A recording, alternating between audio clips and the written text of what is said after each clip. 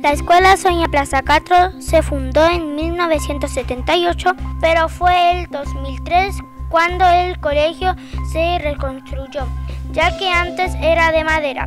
Tiene 160 alumnos y 9 profesores, pero son alrededor de 35 personas las que trabajan en total.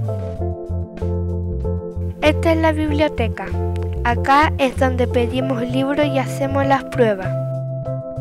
Este es nuestro patio. Acá jugamos en los recreos y hacemos educación física. La cocina es nuestro lugar favorito, porque acá almorzamos y desayunamos.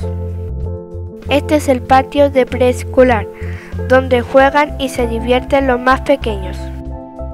Este ha sido todo por hoy. Nos vemos la próxima semana.